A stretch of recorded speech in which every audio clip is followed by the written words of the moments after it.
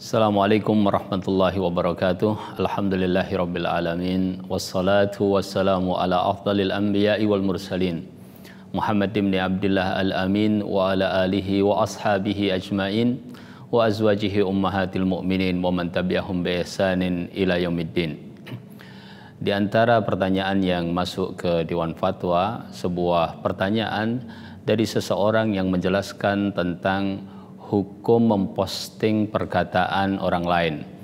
Terlebih lagi eh, perkataan yang dimaksudkan adalah perkataan eh, seorang dai eh, yang dinilai oleh penanya bahwa perkataan tersebut adalah perkataan yang kotor, kasar dan tidak pantas akan tapi dia mempostingnya dengan maksud karena untuk menunjukkan tentang akhlak dai yang bersangkutan.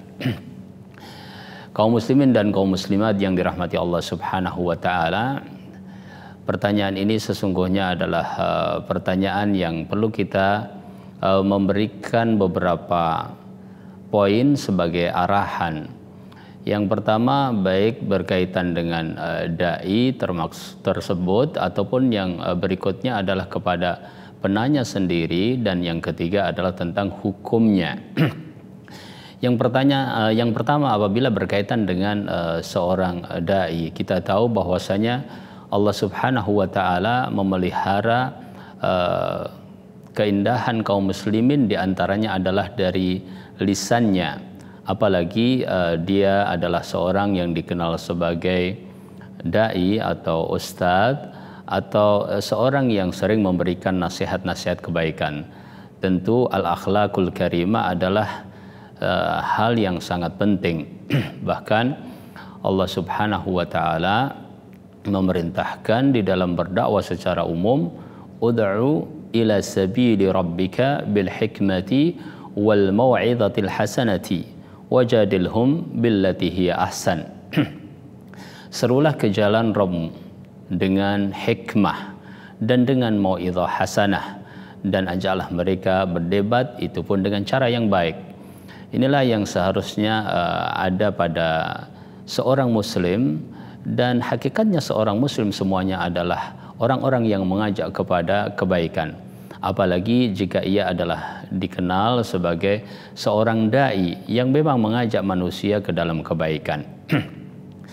Kemudian Allah Subhanahu wa taala juga mensifati rasulnya sallallahu alaihi wasallam bahwasanya uh, Rasul Shallallahu Alaihi Wasallam adalah seorang yang mempunyai sikap yang lembut. Allah Subhanahu Wa Taala berfirman, "Walau kunta faddan ghalidhal qalbi lan faddu min haulik."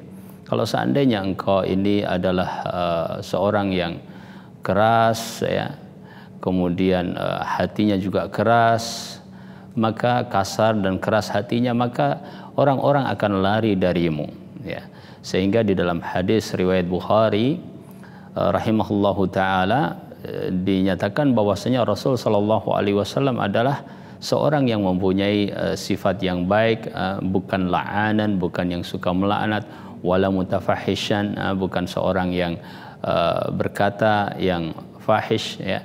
Itulah Rasul kita Muhammad sallallahu alaihi wasallam Demikian juga uh, kemudian uh, kita sendiri dan dalam hal ini juga nasihat kepada penanya bahwa ketika kita uh, ingin berbuat itu kita ingat juga tanggung jawab kita di hadapan Allah Subhanahu wa taala. bahwa diriwayatkan dari seorang ulama salafus saleh ya tidak satu perbuatan pun ma min fi'lin illa walahu diwanan yunshar ya tidak satu perbuatan pun kecuali akan uh, ditulis tentang dua alasan terhadap uh, perbuatan yang kita lakukan. Lima wa kaifa? Kenapa dan bagaimana? Sebagian ulama menjelaskan bahwa lima ini berkaitan dengan keikhlasan kita sedangkan uh, kaifa itu adalah berkaitan dengan bagaimana kita mutabaah atau mengikuti Rasulullah Shallallahu Alaihi Wasallam.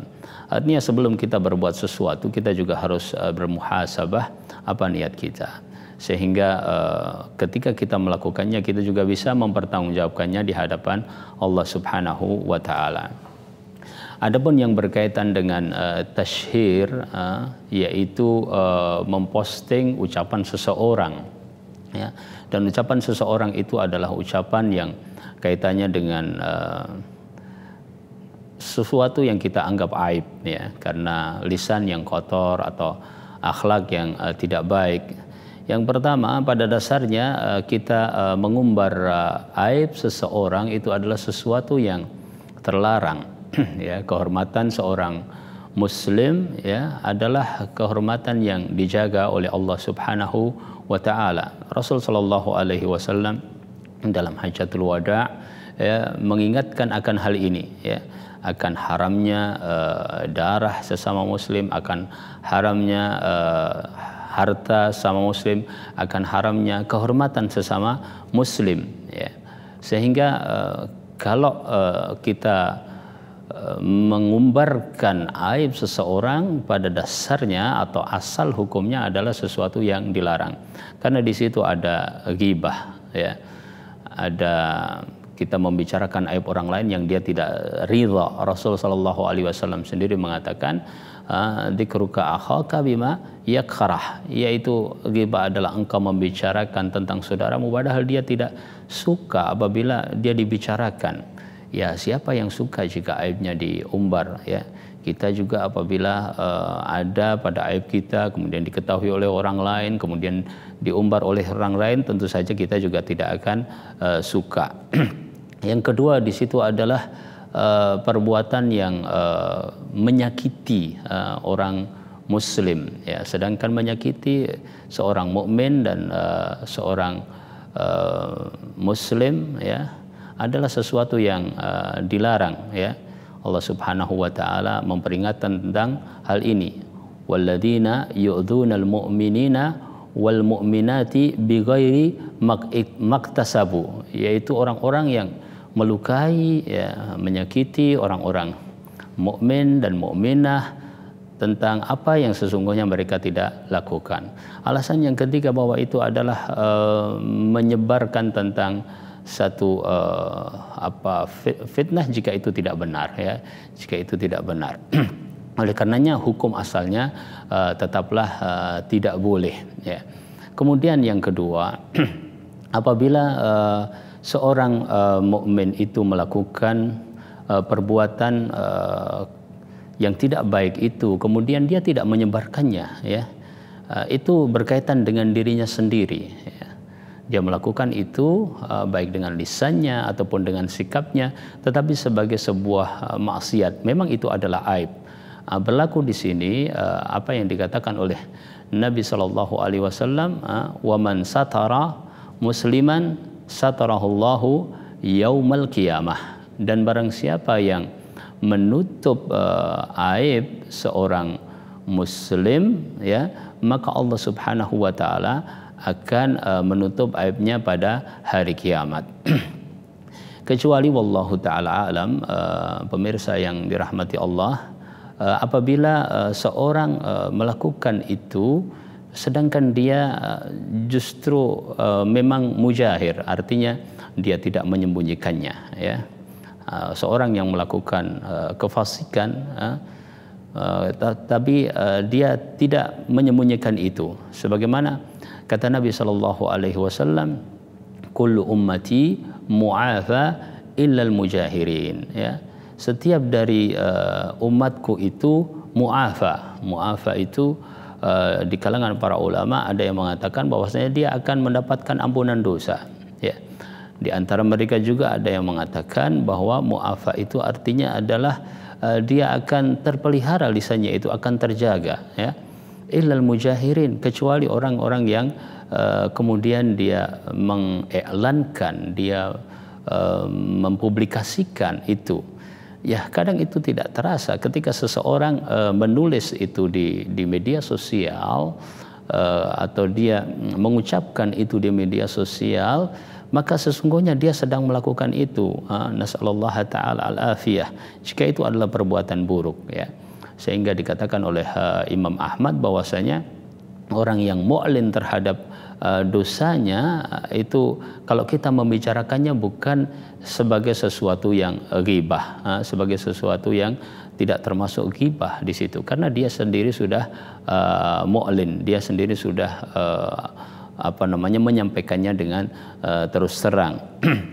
Oleh karenanya uh, dalam hal ini kita harus uh, berhati-hati sebagai seorang dai dan apabila uh, muncul dari seorang dai yang demikian sesungguhnya sikap yang baik dari mereka yang mengetahuinya adalah menasehati ya. Menasehati dengan cara sir dengan cara penuh adab dan sebagainya.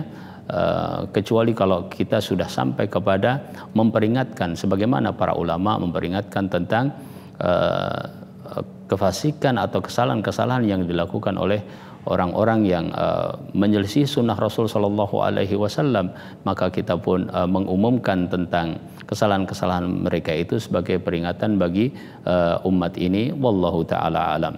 Semoga Allah Subhanahu wa taala memberikan uh, petunjuk kepada kita untuk uh, mengikuti uh, apa yang dituntunkan baik di dalam Al-Qur'an ataupun dalam sunnah Nabi sallallahu alaihi wasallam